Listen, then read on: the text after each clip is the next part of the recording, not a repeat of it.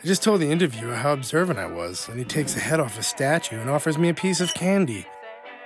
Yeah, it's pretty rude. That's that's a that's someone's head. You can't just take people's heads off.